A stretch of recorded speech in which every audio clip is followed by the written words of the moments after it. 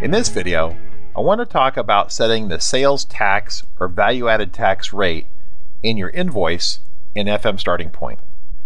Now first off, FM Starting Point is designed to be the starting point of your next FileMaker project. But we've gone ahead and added a lot of important features here that we think most businesses will need.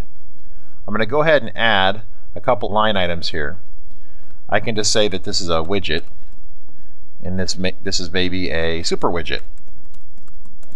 I'm going to go ahead and put some prices in here as well.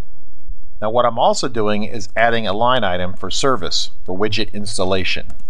And in a lot of governmental jurisdictions, service fees are actually not taxable.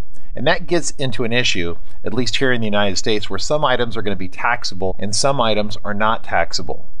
Now down here at the bottom of the screen, right here, we can see where we have a tax rate. This is the tax rate that will be applied to the items that we check off up here as being taxable. So I can say the tax rate here in California in some areas is 8.75%. Of course, when you input it, make sure you input it as a decimal. And of course, clicking out, it's going to format it as a percent. Now I had to manually enter that here. And that could be a hassle, but we'll get to that in a second. Now the next thing I want to show is that right now none of the items are set up to be taxable. But I want to show that we're going to spend two hours of labor. Maybe it costs my technicians $20 an hour to go out and install the widget, but I'm going to charge $40 an hour for them, for example. So they're going to go out and install the widget and super widget. And so However, due to local tax laws, we need to charge and collect tax on the widget and super widget only. And that's what we have going right here. As you can see, I add the first item here and the tax goes up. I add the second item right here and we get tax there as well.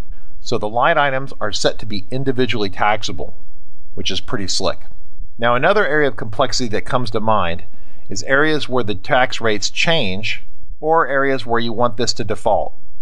Now let's start off with the simplest situation first. If you want the tax rate to default to the same tax rate all the time, all you have to do is really go into layout mode so you can see the name of the field right here. And the name of the field is called sales tax rate. We can see that right here. Next thing we're going to need to do is go into manage, manage the schema or field definitions. So we go file, down to manage, down to database. Next thing we're going to do is we're going to find that sales tax rate that we had here. And right here we have the sales tax rate. Now right now it's set to be a number field, but we can go into options right here and specify an auto enter value. So every time a new record is created, it automatically enters some value. Maybe that we know that the tax rate in this area is always going to be 7.5%. So we enter this right here. And then we say OK. Then we can go back to browse mode. Now when I create a new record right here, you're going to see the sales tax right here has been input automatically for us. So that's a pretty straightforward fix. Now it can get more complicated if you have different jurisdictions that require you to charge different rates based upon where your customers are at.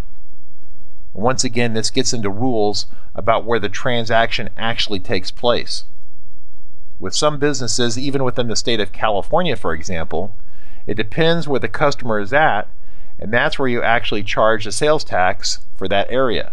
And to make it even worse, there are different counties or parishes or provinces, if you want to call it that, but they're different territorial areas within the state of California. Each one of those counties sets its own tax rate. Now, the way you would go about supporting multiple jurisdictions with multiple tax rates would be a lookup table with a jurisdiction and tax rate attached to it. Now, that's beyond the scope of this video, but we have a training series where we talk about this type of setup in detail It's a training series that focuses on FileMaker Pro development with emphasis on FM Starting Point. So hopefully that gives you some ideas about how to set up sales tax or value added tax rate in your invoice in FM Starting Point.